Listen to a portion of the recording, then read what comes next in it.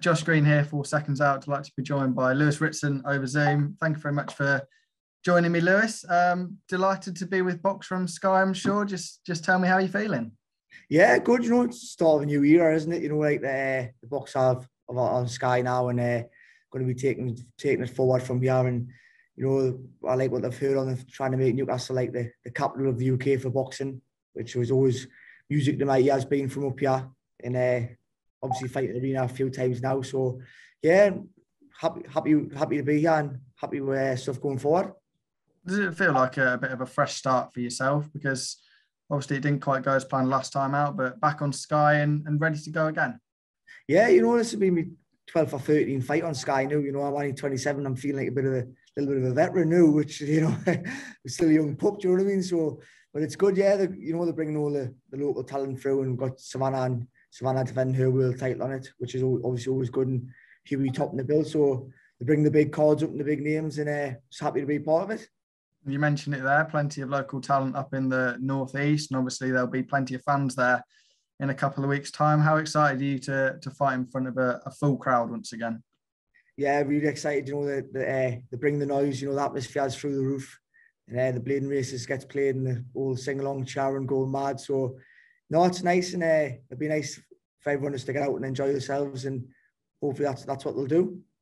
And just if you don't mind, just going back to your previous fight against Jeremias Ponce, I mean, obviously not the result you wanted on the night, but after the fight, obviously Steve Gray went to the changing rooms. That was that a bit of a, a surprise for you because that's something we don't very see very often in boxing. No, I think obviously mate, he got put in a little bit of a position where he had to, you know, what I had no problem chucking him chucking the towel out. To be fair, it wasn't really, it wasn't like a headshot that hurt. It was just a body shot, you know, like so.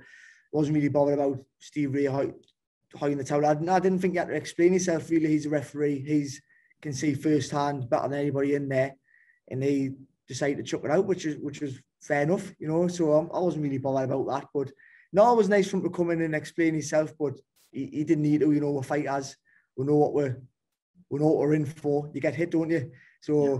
and that's that's all that was happening. So no, like I say, it was uh, it was going to be a good night and, and stuff, but he didn't have to uh, he didn't have to come and explain himself. Hmm. I, mean, I assume you were you were back in the gym not too long afterwards. I mean, you had a long camp leading up to this, and I spoke to Savannah earlier. She's been in camp for a long, long time, and I'm sure it's a similar story for yourself. Yeah, well, I had a, few weeks off after the punch, but to be fair, we haven't really had a, massive full camp because we didn't think we'll be fighting until end of, the end of this year. And uh, obviously got the phone call uh, with seven weeks' notice. Hadn't really done any sparring at all or anything, so it's a bit, bit different this time for me. It's uh, instead of having a full camp where you go mad, it's sort of you've got seven seven weeks sort of sort yourself out. So, but we'll be in the gym, we'll keep fit and that, so uh, not be not be a problem come fight night. It's been very stop stop start year for so many boxers, but the fact that shortly after signing with with Sky and Boxxer, you've got a, a fight just just in just two weeks' time must be very exciting to and and sort of the fact that you've got it so soon must be a great sign. Yeah, it's good. You know, I obviously heard what Boxxer had to say. I'm happy happy with what the uh, what they come out with, and the, you know, like I say, they're going to make try make Newcastle like the fight capital of the UK. So there's going to be plenty, plenty of opportunities to get fights.